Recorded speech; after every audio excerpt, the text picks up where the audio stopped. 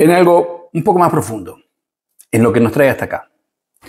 La impunidad, la madre protectora de la, de la degradación argentina, vamos a decirlo bien, que tiene nombres y apellidos, a veces ocultos y a veces, incluso como en este caso, premiados.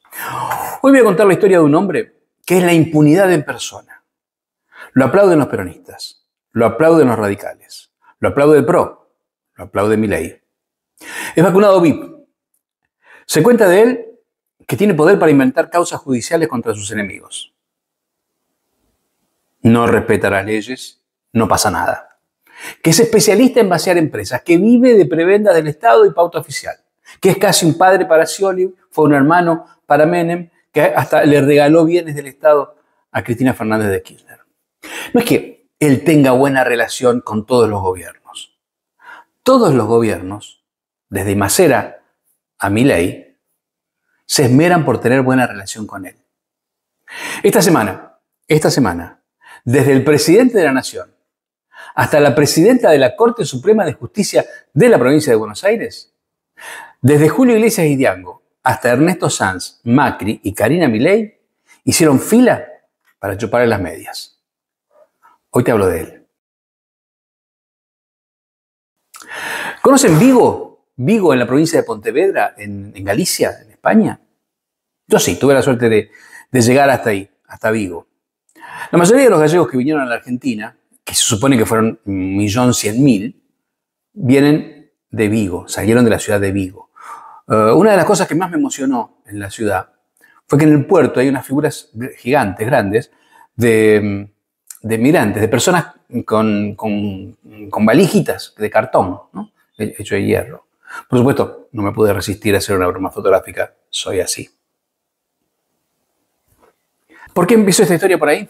Porque esta historia tiene dos lados. El cuento de hadas que su protagonista cuenta, la historia blanca que repite incansablemente y lo provee por partes iguales de miedo y poder, y la historia negra, ya se puede decir negra, que también lo provee por partes iguales de miedo y poder. Empecemos por la historia blanca que comienza en Vigo.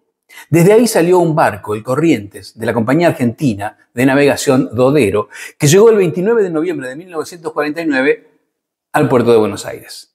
En ese barco venía nuestro protagonista, un galleguito de 16 años, Florencio Aldrey Iglesias, con su valijita de cartón, que cuando tuvo que declarar su profesión puso un modesto labrador. labrador. Al año siguiente ya tenía la concesión del bar del club de comunicaciones. Rápidamente se le sumaron la del Club Municipalidad de Buenos Aires, IPF, Obras Sanitarias, Buchar, Gimnasia de Esgrima, Huracán, Boca y River.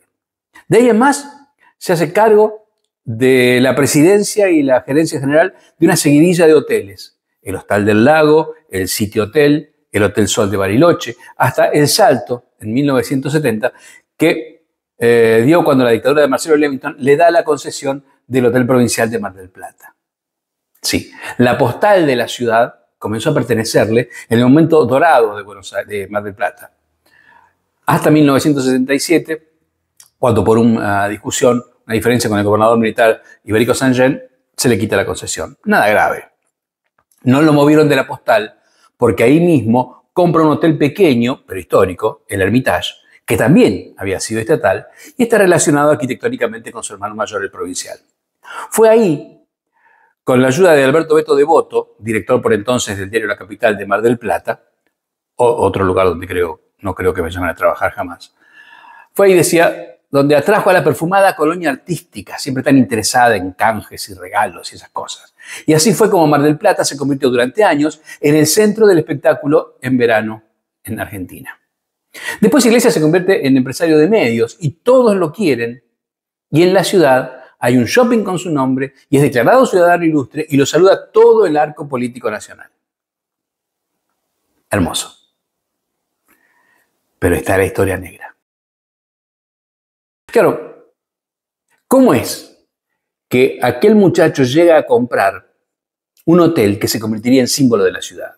La leyenda, urbana, que el mismo Aldre de Iglesia se encarga de avivar para acentuar la sumisión y miedo que gran parte del empresariado, la política y los medios le tienen, habla de las relaciones del gallego, como le dicen, con elementos residuales de la dictadura, como el fotógrafo del diario La Capital de Mar del Plata, Oscar Agustín Alonso, integrante de los grupos paramilitares de la ciudad.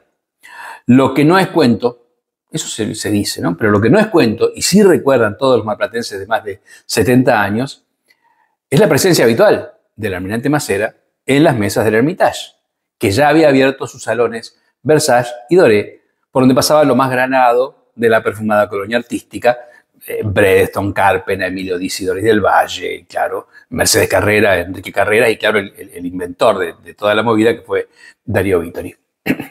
Otra leyenda urbana, más extendida y con mojones que le dan credibilidad, cuentan que el gallego fue durante años una especie de testaferro de Manuel Fraga Iribarne, expresidente del Partido Popular Español y, entre otras cosas, ministro de Turismo de España. Son recordados en la ciudad los viajes portando valijas sospechosas en la década del 90, viajes mensuales que hacía Aldrey a Galicia. Los enemigos de Aldrey, que en Mar del Plata los tiene y son muchísimos, pero con mucho menos poder que sus amigos, aseguran que en esas valijas iban los retornos por los negociados de las ayudas que llegaban desde Europa a Argentina para la existencia de la revista Ideal Gallego, que se imprimía casualmente en los talleres del diario La Capital. Ya conté la estrecha relación que había entre el gallego y el director del diario La Capital, Beto Devoto. En el caos económico de 1981, en plena dictadura y ante los problemas financieros del diario, Devoto, el director, temía, por supuesto, perder su trabajo, mira, si en el diario, entonces se entusiasma el gallego para que compre el diario La Capital. El gallego compra el diario por el valor de las deudas contraídas. Algunos años después, según cuenta el medio Noticias y Protagonistas de Mar del Plata, un periodista le preguntó al gallego, ¿cómo se quedó con el diario? Y Aldrey contestó, hombre, con gente que no tiene orgullo es fácil. La entrada del gallego a los medios con la sutileza de un elefante en un bazar fue fundamental para elegirlo, elegirlo en el patrón del mar, el dueño de la ciudad. Todos recuerdan cómo le fue a Antonio Toledo, de los famosos supermercados Toledo, si fuiste alguna vez a Mar del Plata, has visto los supermercados Toledo. Bueno, Toledo quiso tímidamente entrar un momento al mundo de los medios, con una pequeña publicación de supermercados y con dos FMs, 98.5 Brisa y 104.5 Vía. El gallego lo destrozó con las peores armas. Se cuenta que mandaba a poner pollos podridos en las heladeras de los supermercados Toledo y después le caía con todo el peso mediático. André Iglesia no permite competencia. Todo lo que no está bajo mi control es una amenaza, es enemigo, no hay grises, ese es su lema. Y así convirtió el Hotel Hermitage en el besamanos por el que todo candidato a presidente debe pasar. Alfonsín, Menem, Dualde, Wiener, Angelos, De la Rúa, obviamente los Kirchner. Hubo un solo candidato a presidente que después de estar hospedado en el Hermitage no quiso que le regalaran la estadía. Discutió en la consejería, dijo yo quiero pagar, quiero pagar, no veía bien que se lo regalaran. Hoy nadie recuerda a Horacio Masachesi. ¿Viste? Nadie lo recuerda. Los mismos empleados del Hermitage cuentan que cuando le sacaron la concesión del hotel provincial al gallego, el gallego prácticamente saqueó cortinados, cubiertos y otros utensilios que fueron a parar al Hermitage, cruzó la avenida. Sin embargo, antes de que Aldred Iglesia ganase otra vez la licitación del hotel provincial, porque se lo volvieron a dar, el por entonces gobernador Daniel Scioli puso de la provincia 3 millones de dólares para reacondicionarlo. O sea, puso dinero de todos para reacondicionar algo que el mismo gallego había devastado. Como el buen gusto no es una de las características eh, destacadas de Aldrich, una de las primeras cosas que hizo al recibir nuevamente el hotel provincial fue pasar una mano de pintura blanca sobre los murales de la cúpula del salón circular borrando así el bellísimo trabajo del artista Abel Mañani y privándonos a todos de su contemplación. Así era, así quedó. Que todo el edificio, obra del arquitecto Bustillo, era declarado de interés patrimonial, ni le importó al gallego. Infringió los, los pliegos que él mismo aceptó, leyes y ordenanzas, inaugurando un estilo que, ya te voy a contar, es un clásico de él. Quizás por haber destrozado una obra de arte pública es que lo nombraron ciudadano ilustre, vaya uno a saber. Pero claro, la relación del dueño del mar, del, patrón del mar, con el actual secretario de Turismo, Ambiente y Deportes del país, Daniel Scioli, viene de lejos, incluso antes de que el malogrado campeón de motonáutica se metiese en política, o sea, la prehistoria. Scioli en Mar del Plata se hospeda solo en la suite presidencial del Hermitage y ahí festeja su cumpleaños cada 13 de enero y después sale a hacer el, el Bristol Test. Tanto cariño, vamos al tema, se vio compensado el 18 de junio del 2008, cuando siendo gobernador, Scioli le adjudicó por 30 años y eximiéndolo del pago de ingresos brutos la concesión del hotel provincial y su casino a la cadena NH Hoteles que preside Aldred Iglesias. Por supuesto, la inauguración estuvo presidida por Aldred Iglesias, el amigo gobernador, y la presidenta CFK. Hablando de la presidenta y el hotel provincial, esta joyita. Este este escritorio donde Néstor se sentaba. Era este, este sillón. Quiero, vení por favor que quiero mostrarlo. Este sillón es un, un sillón muy querido que le regaló a él el dueño del Hermitage Hotel de Mar del Plata y es el sillón en el cual él presidió aquella histórica sesión de la Cumbre de las Américas en Mar del Plata en el año 2005 cuando toda Latinoamérica le dijo no al ALCA. Bueno, Néstor era el presidente, se sentó en este sillón, que además es la foto famosa esa, ¿no? que tiene donde él lo está mirando al presidente Bush. Y acá tienen todos los presidentes, bueno, todas las, todas las fotos que yo le puse cuando le decoré. Sí, muy de cuerpito gentil, la expresidenta cuenta que un particular le regaló una silla que es propiedad del Estado. Total, con lo que se robaron, mira que va a ser problema una silla más, silla menos. Por más que el hotel es del Estado provincial, si hoy ese Estado o el Estado Nacional quieren usar las instalaciones, para el Festival de Cine, por ejemplo, tienen que pagar, y muy caro, por el uso de lo que es propio. Claro, quien cobra es el ciudadano ilustre. El patrón del mar, como buen hombre de la democracia, está más allá de cualquier grieta, por eso no hay diferencia entre peronistas y radicales. Fue en dos administraciones radicales, la de Elio Aprilia a fines de los 90 y la del arquitecto Daniel Katz, que Aldred Iglesias fue completando la postal más platense. Fue con ellos dos, con Aprilia y con Katz. En el 99 con, con Aprile, consigue la concesión del Paseo de las Toscas, ahí donde se hacían los programas de televisión de Mateico, y paulatinamente se fue quedando con todo, de a poquito, tum, tum, tum, con distintos permisos precarios de explotación que recién se regularizaron, por decirlo de alguna manera, en los últimos años, y que ahora se los aflojaron bastante también. Eh, hoy tiene un túnel debajo del Boulevard Peralta Ramos que comunica el Hermitage con el estacionamiento del Boulevard Marítimo. Toda la galería de locales sobre la Rambla, la, explotación de playas privadas sobre la Bristol, un anfiteatro, el playón de espectáculos sobre la Rambla con sus shows en conjunto con la provincia de Buenos Aires, el histórico hotel provincial, gerenciado por NH Hoteles, el casino del Hermitage, los locales debajo de él y las playas privadas. Conocido como Emprendimiento Paseo Las Toscas y Paseo Hermitage, explotado por Aldrey desde 1999, está prolongado su concesión hasta 2029. Pero hasta el 2019 pagaba un canon mensual de 9 mil pesos. En un rato te cuento qué pasó cuando le quisieron aumentar el canon y cómo todo derivó en el invento de una causa judicial y un tipo preso. Pero eso te lo voy a contar enseguida. Ahora, ¿cómo consigue Aldred Iglesia todo esto? Con amigos como los radicales, o Scioli, o llevando la presión al extremo, que es la manera elegante de decir apretando. La leyenda urbana dice que el diputado radical K, el arquitecto Daniel Katz, fue el único intendente de la ciudad que no fue empleado del patrón del mar, que fue socio.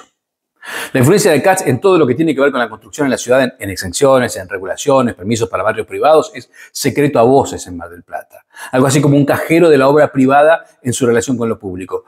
¿Cómo? A través de sus siempre amigos concejales que están para eso. Casi ni se habla de Katz, incluso tuvo un problema cuando su hijo estuvo preso por manejos en la financiera familiar, no salió a ningún lado. El blindaje es así, para eso ayuda a que Aldrey sea también el zar de la comunicación de la anda a saber por qué le dicen feliz. Según Wikipedia, según Wikipedia, Multimedia es la capital de Aldrey Iglesias, controla tres emisoras malplatenses de AM. LU6, emisora Atlántica, LU9, Radio Mar del Plata y AM 1620. Las FM 88.7 de la azotea, 89.1 Estación Vinilo, 89.5 FM Láser, 90.1 Radio Mega, 90.5 Radio Kids, 103.9 Radio Canaán, 104.1 frecuencia modulada, 105.1 la radio, 105.5 FM Inolvidable, ESPN, 105.7 FM Espacio, 105.9 FM Amor y los diarios. La capital de Mar del Plata, La Voz de Tandil, La Prensa de Buenos Aires, La Voz de Balcarce, La Voz de Villa Gesell y Pinamar, el Canal 2 de Mar del Plata, repito, todo esto según Wikipedia. Es una información un tanto opaca porque todo depende de sociedades, parientes, emisoras afiliadas, cosas que se compran, se venden al mismo tiempo. Desentrañar el nudo es muy difícil. Lo cierto es que Aldred Iglesia no es el cuarto poder de Mar del Plata. Es el único poder que quedó en pie.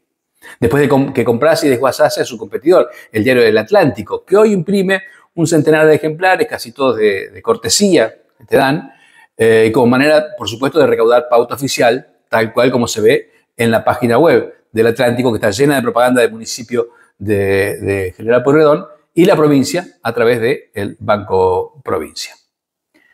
Pero no solo ha diarios y radios el gallego ilustre. Lo mismo hizo con la empresa láctea Amanecer, que compró, que compró en pleno auge y terminó entregándola en medio de quiebra y denuncias de fraude.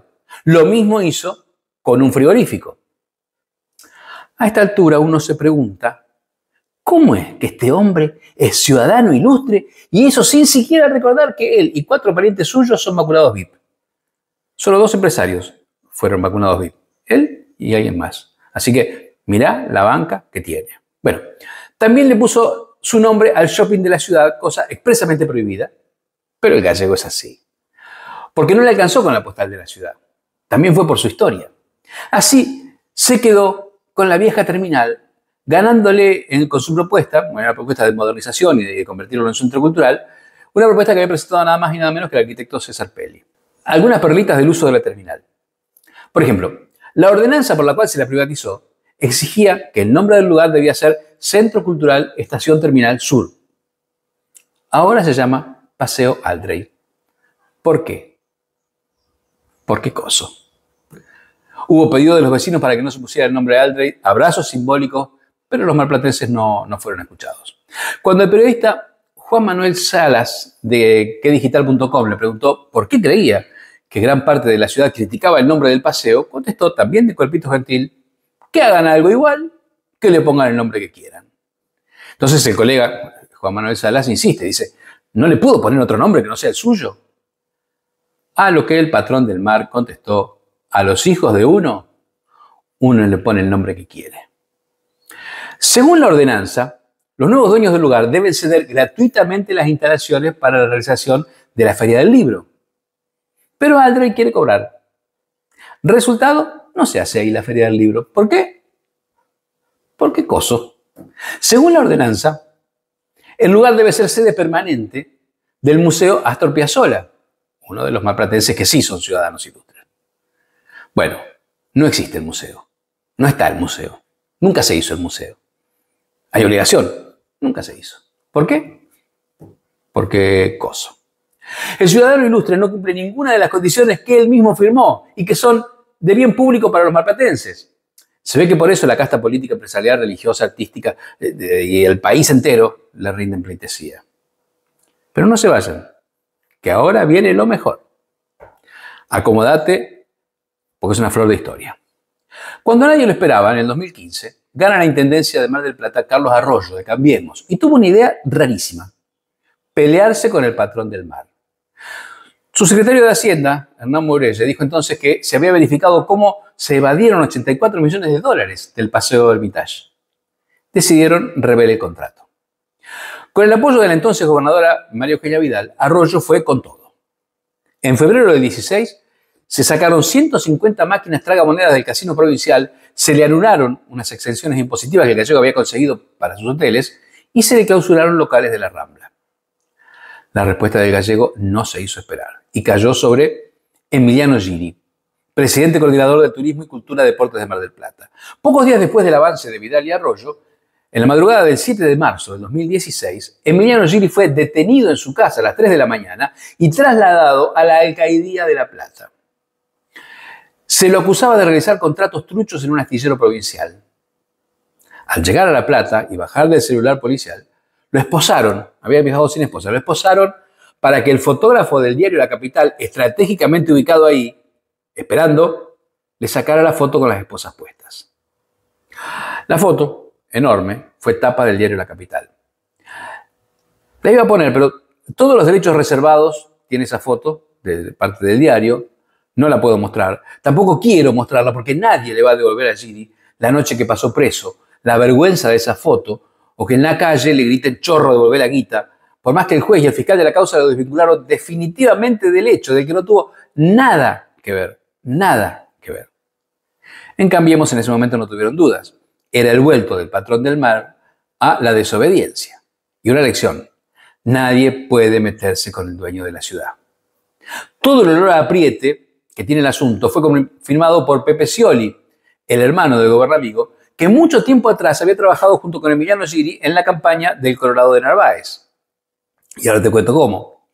Como muestra de la etapa, Pepe Scioli llegó hasta la alcaldía, donde estaba detenido Giri, no, no, se pudo encontrar porque Giri estaba, obviamente preso, pero estaban los amigos de Giri ahí, y, y el hermano de Scioli, el Pepe Scioli, les dijo algo así como, vieron cómo son mi hermano y el gallego. Giri se retiró de la política, la elección le quedó clara a todos. Sin embargo, la escalada continuó. María Eugenia Vidal parecía decidida a encarar la pelea que nadie había querido dar. Apoyó a Arroyo y un grupo de bromatología del Departamento Habilitaciones del municipio desembarcó en el Hermitage. Lo clausuraron, lo clausuraron digo, por no tener todas las medidas de seguridad que tenían que tener. En el medio pasaron cosas. No sabemos cuáles fueron. El 20 de mayo del 2016, solo tres meses después de la embestida, una mucho más dócil, María Eugenia Vidal, se paseó del brazo de Aldrey eh, Iglesias por las instalaciones del diario La Capital. Se sacó fotos con Aldrey y declaró, para mí el diario La Capital es un símbolo de del Plata. Según asegura el mismo quedigital.com, para ese entonces comenzaron a aparecer grandes publicidades del Estado provincial en el diario. Ya había pasado todo esto cuando ADEPA, la Asociación de Entidades Periodísticas Argentinas y la Secretaría del Medio de la Provincia de Buenos Aires, en la gobernación de Vidal, le dieron a Aldri un reconocimiento con medalla, plaqueta y aplauso. La Mar del Plata contemporánea está indiscutiblemente unida al nombre de Florencio Aldri de Iglesias, dijo el presidente de ADEPA en ese momento. Y aunque seguramente no fue su intención, es probable que eso no sea un elogio. Hay más, hay muchísimo más. La imagen que nadie se anima a confirmar como verdadera del gallego y Scioli en una calecita del Divermar. El Divermar era un costosísimo parque de diversiones que Gobernamigo armó en la Plaza el Paseo de las Toscas. También está el Botero, que el gallego hizo pasar como donación para la ciudad, pero se lo quedó en su paseo y en realidad eh, esa donación solo la usó para pagar menos impuestos y tasas, que además la mala lengua dicen que es un botero, es una, gorda que está así acostada en el piso, que dice que lo compró rayado, por eso estaba más barato, una especie de outlet de, de botero. La operación sospechosa que la UIF, Unidad de Información Financiera, detectó entre el interventor de Loterías y Casinos de Provincia de Buenos Aires, Luis Alberto Peluso, y el gallego, con un desvío millonario hacia la campaña de Scioli, o la última vivada, que es el Premio Estrella de Mar, honorífico que el intendente Guillermo Montenegro le entregó en el propio hotel provincial, donde empresario y funcionario compartieron la primera mesa, dominando el panorama. Fue ahí donde se hizo público que Montenegro delegó en el patrón del mar la organización de la fiesta por los 150 años de la ciudad. Aldre de Iglesias se ofreció a financiarla personalmente. Le dijeron que sí, claro, por supuesto. Se quedó con los honores sin poner un peso, porque ahí mismo se dio vuelta y comenzó a apretar a los empresarios y cámaras empresarias para que pusieran la plata que le haría quedar bien a él. Así fue que lo elogió Tete Custaró en la fiesta de las estrellas de mar por ser quien liderará la celebración y propulsará la, y llevará adelante los festejos para que Mar del Plata tenga un cumpleaños importante. En la segunda estrella de mar que tiene Gallego ya le habían dado una por el paseo Aldrey, por la extensa propuesta cultural que ahí se desarrolla, le dijeron en ese momento. No, Museo Piazzola no hay. Feria del Libro no hay. Pero sí acaba de abrir un restaurante gourmet francés, cosa que está expresamente prohibida en la ordenanza por la cual consiguió el lugar. No importa. Entre los primeros comensales del lugar estuvieron Fátima Flores y su novio, un señor que está contra la casta. Este viernes pasado, el 22 de febrero, Florencio Aldre de Iglesias recibió en el Consejo Deliberante el título de Ciudadano Ilustre el primero que da la ciudad, ya que prácticamente se creó para que lo recibiera. De los 24 concejales marplatenses, no hubo uno solo que dijera no. 22 votaron a favor. Dos, movidos por la vergüenza, se retiraron tímidamente a la hora de votar. Guido García de la coalición cívica y Agustín Neme del PRO. Pero nadie se animó a decir no. Le estaban dando el título de ciudadano ilustre a un vacunado VIP. La letra con sangre entra. Y ahí estuvieron aplaudiendo emocionados el dirigente radical Ernesto Sanz, el senador nacional radical Maximiliano Abad, la presidenta de la Corte Suprema de Justicia de la provincia, Hilda Kogan, el obispo de Mar del Plata, Ernesto Llevando.